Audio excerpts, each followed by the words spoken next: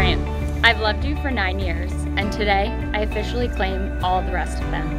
I couldn't be more ready or excited to finally have the title I've been waiting for forever, your wife.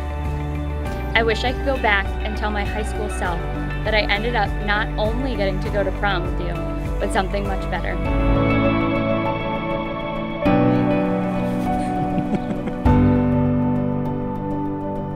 Elizabeth, I promise to love you every day as much as I do today, to be there for you when you need me, to be your best friend, and to enjoy this life that we are creating together.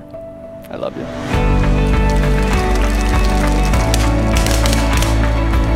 I'm so happy to be here with you on your big day and to be by your side, me and you, Taylor, for the rest of the time, because we're going to be best friends forever. Will everyone raise their glasses wonderful life filled with love together?